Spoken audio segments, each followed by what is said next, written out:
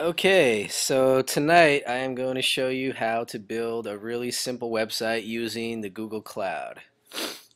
And we will actually start by going to a domain registrar of your choice. Um, I'm using GoDaddy in this case. I, I, would actually prefer to use Google Domains, uh, which is in a beta round testing. Um, but I've already used my one domain, and I, I at the moment I can't uh, purchase any more domains there. So we'll go. We'll just use GoDaddy.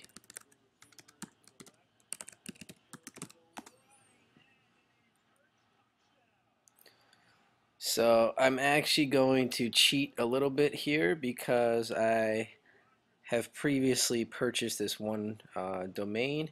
I can assure you it's it's not a difficult process. Um, you do need to go and um, you know make sure that, that the domain you choose is available and there's a whole science and art to that. Um, but you know we're just assuming that, you, that you've already done that. So we're gonna use this one called Clankit I'm not currently doing anything with this site. Um, so if we launch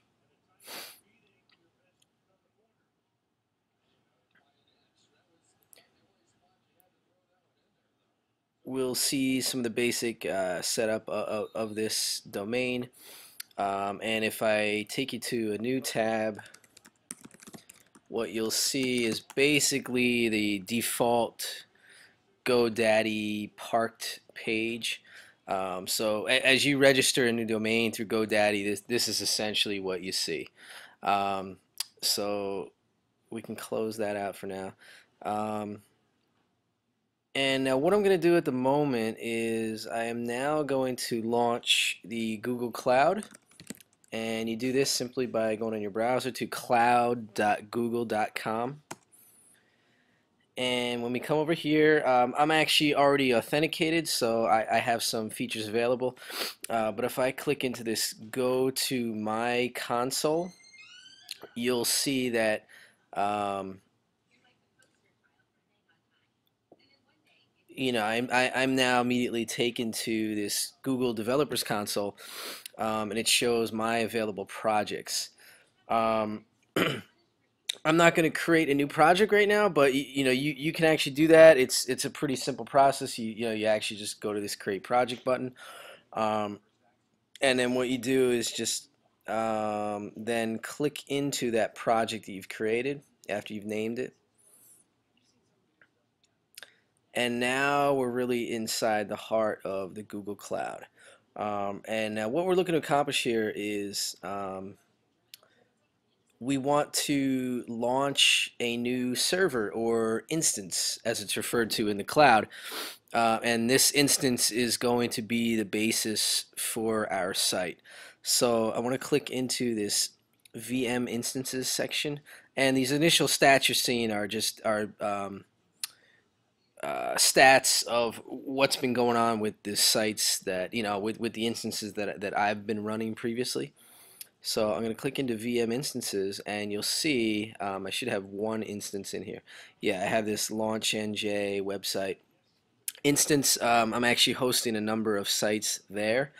Um, and very easily I could I could tack this Clankit domain onto this running instance that I have, and, and you know the setup would be very easy.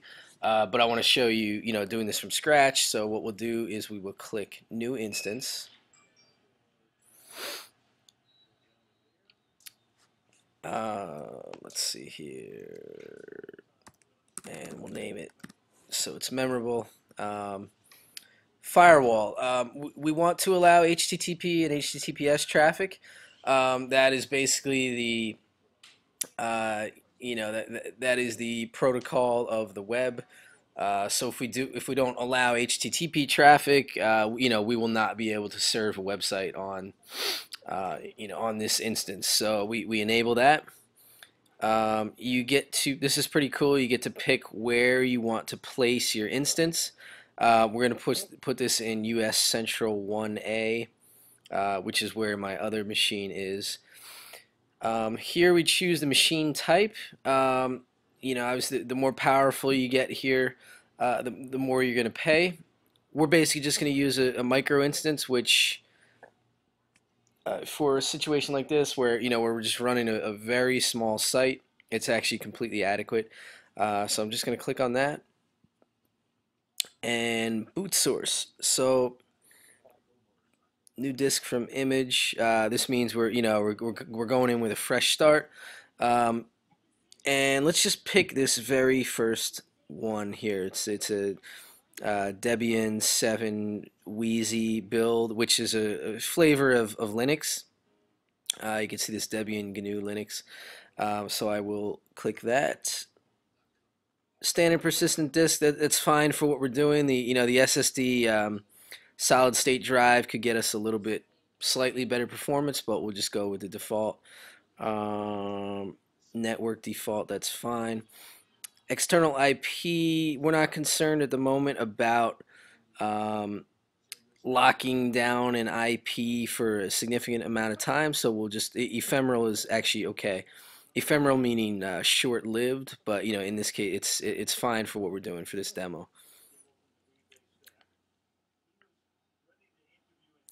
Okay, so now that instance is spinning up. You can see this um, uh, this uh, you know this this timer over here. Uh, letting me know that this instance is is being prepared for us. And in a minute yep there we go great. That's now available. So we have this instance Clankit um, external IP okay so this is now immediately how we are going to access this this instance from the web so this actually is out there on the web, and and um, it's somewhat accessible. Uh, be, you know, because we opened that hole in the firewall, but we're actually not going to be able to do anything with it just yet. That and that is actually expected. Um, the first thing is that it, it's not running a web server at the moment. So we now need to, what we're going to do now is connect to this instance. So you see over here, this connect and we're going to go into um, S, you know, SSH connection. Um, this will launch an SSH session that will take us to our newly created instance. Um, and we are now at the command, command line of this server.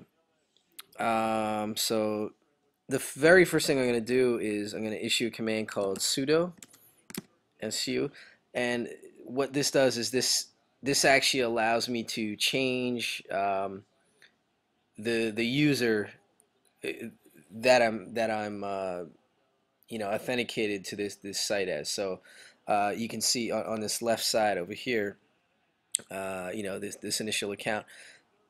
Once I issue this sudo command I, I should get root access and the reason we want that is because the root access is you know the administrator for the box and we need admin rights to do some of the things that we're going to have to do. So simple sudo su command, you'll now see that we have this root level access. That's that's what we want. Um, let's just change to the absolute base. Okay. And the first thing we need to do is we need we need to put a web server on uh, you know on on this instance. And so there's a thing called we're going to use what's called Apache 2. Um, and so in Debian, we can issue a command like this. It's apt get um, install Apache 2. Oh, sorry, one second. I need to run an update first. No, update.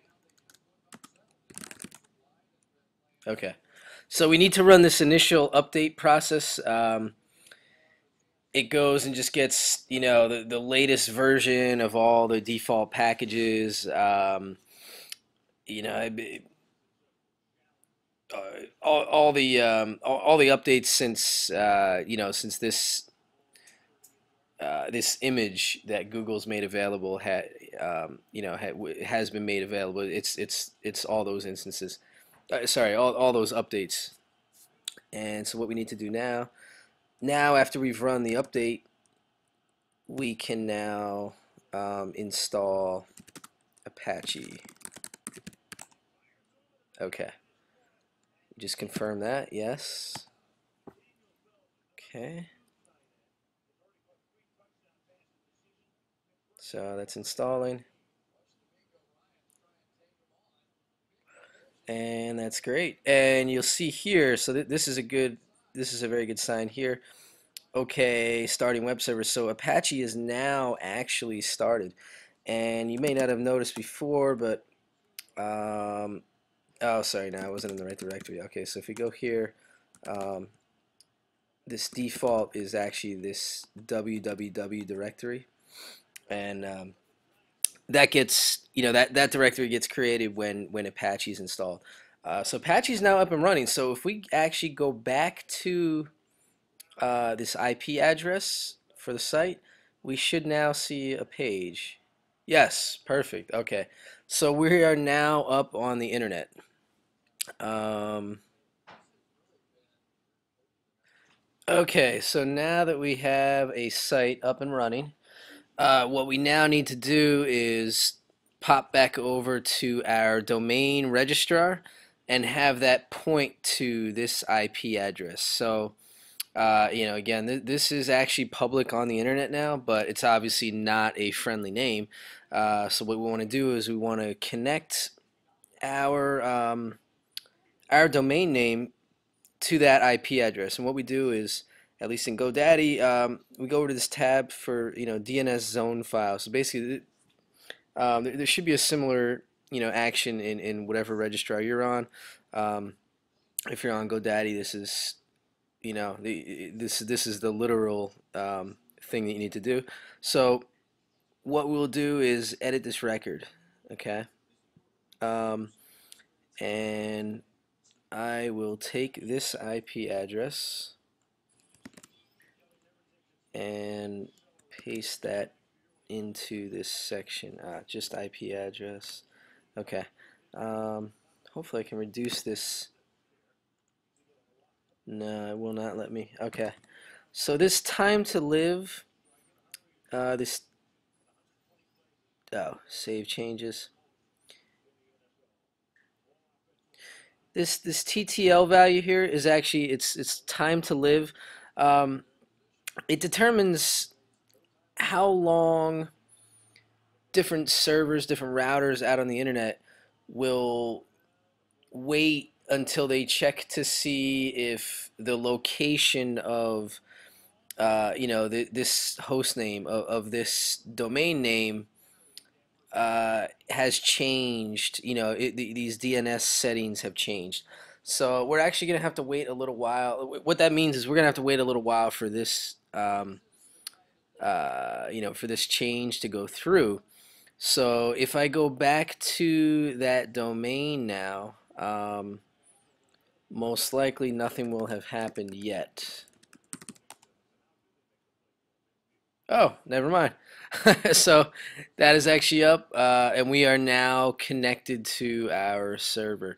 Um, so you know this domain name is now pointing to that IP address. So now we have a friendly way of you know of getting to this location. Um, that is now actually a very rudimentary website. You know this is actually uh, running on the Google Cloud. Um, th th this is a legitimate website.